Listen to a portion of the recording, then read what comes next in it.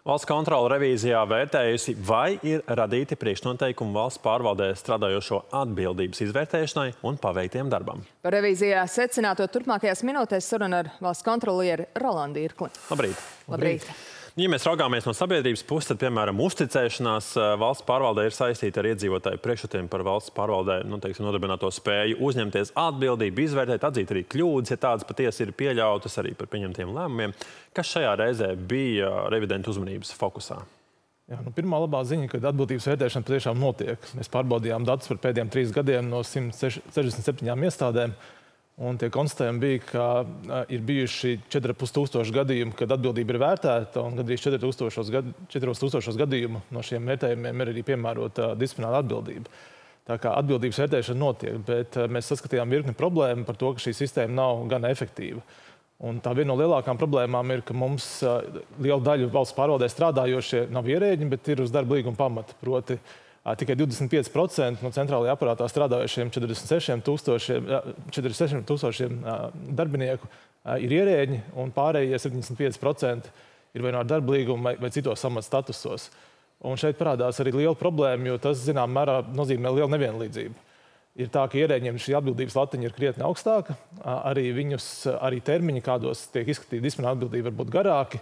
Līdz ar to var veikt rūpīgāku izvērtējumu, un arī sodi ir krietni bargāki.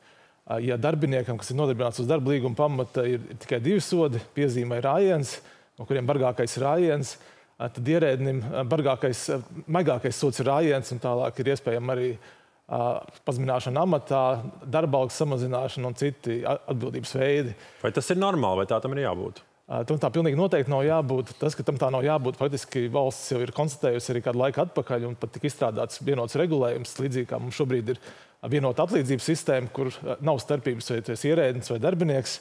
Tātad vai uz līguma pamata, darba līguma pamata vai, vai nodarbināts kā ierēdnis, tad uh, tur atlīdzība ir vienāda. Bet, kad mēs skatāmies par atbildības jomu, tad atbildība gan ir dažāda. Uh, Un tas jau tika konstatēts savulaik iepriekš, tika pat izstrādāts vienots likums, kas, kas to risinātu, bet, diemžēl, šis likums neieguva virzību tālāk parlamentā, un tā arī šis jautājums ir nolikts plauktā un nav kustināts. Vai redzat, ka tagad varētu no jauna iekustināt šī likuma virzību parlamentā? Iespējams, līdz ar jaunās valdības izveidu varētu arī paskubināt politiķus. Pilnīgi noteikti uz to ir vērsta arī mūsu ieteikumi. Tātad, tas viens mūsu rosinājums ir, kad izveidot šādu vienotu sistēmu, Ieteikuma termiņi ir diezgan gari līdz 27. gada sākumam, bet mēs apzināmies, ka šāda reforma izveikta tomēr ir jāsagatavo un, un mhm. jāievieš arī cauri kabinetam un, un parlamentam. Jo jāatzīst, nu, patiešām, tad, kad uh, ziņās lasa, tieši konstatēt kādu pārkāpumu un beigās tu izlasi, ka nu, jā, ir izteikts rājiens. Izteikts rājiens un. Rājans ir viens no disciplināra atbildības veidiem. Šis ir tas gadījums, ka... tajā brīdī, kad runa ir par nopietniem pārkāpumiem, tas nešķiet uh, samērīgi. Tas nešķiet samērīgi. Un, un, piemēram, viena no problēmām, arī, ko mēs identificējām, ir, ka dažkārt piemēram, iepirkuma komisijā ir gan ierēdnis, gan darbinieks. Un, teiksim, pārkāpums ir izdarījuši abi.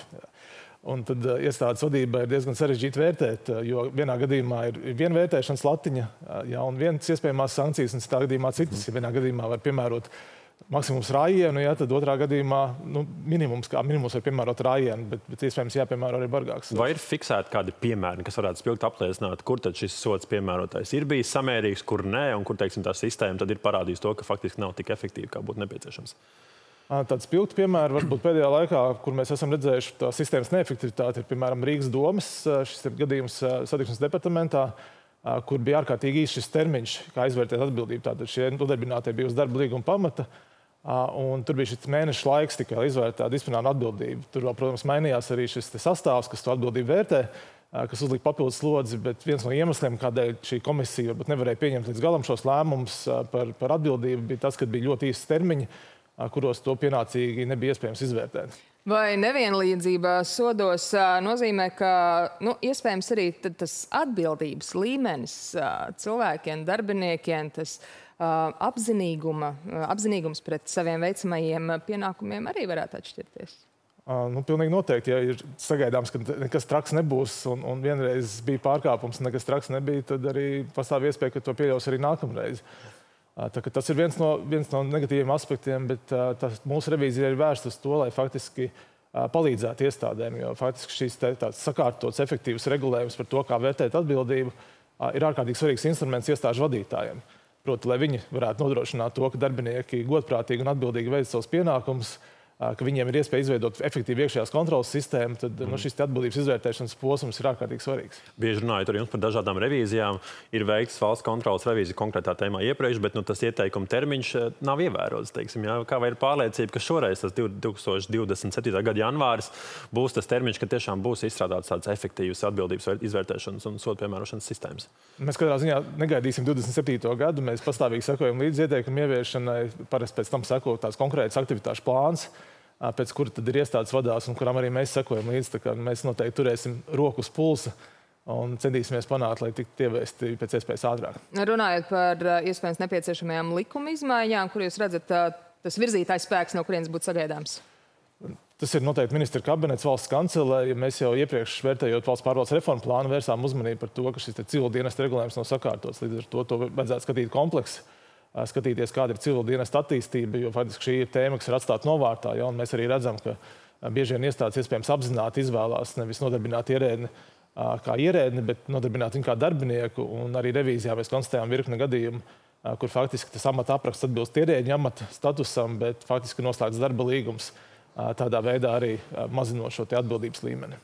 Jā, nu mēs zinām, ka augusta vidū valsts kontrolas likumam apritēja simts gadus. Skaidrs, ka uh, darbs neapstājas valsts kontrolē. Kas šobrīd ir tajā aktīvajā dienas kārtībā vēl par revīzijām un gaidāmiem revīzijas ziņojumiem? Nu, mums ir virkne revīzija. Tas tuvākais revīzijas ziņojums, ar kuru nāksim klajā pēc dažām nedēļām, ir saistīts ar onkoloģijas jomu. Proti, kādā veidā tiek nodrošināta diagnostika, profilaks līdz pat tam, kā tiek kompensētas zāles vēža pacientiem. Šī ir ļoti nozīmīga revīzija. Noslēgumā tuvojās arī gadējā lielā finanšu revīzija par 17. gadu pārskatu. Tāpat arī par inovācijas politiku valstī. Tā ir virkni tādas revīzijas, kuras šobrīd ir, ir fināla stadijā. Vai revidenti jau ir ķērušies klāt Reizeknas finanšu vērtīšanai? Jā, pilnīgi noteikti. Mēs esam informējuši arī gan Reizeknas domu, gan finanšu ministriju, gan varam par uzsākto revīziju. Šobrīd revidenti jau ir uzsākuši darbu.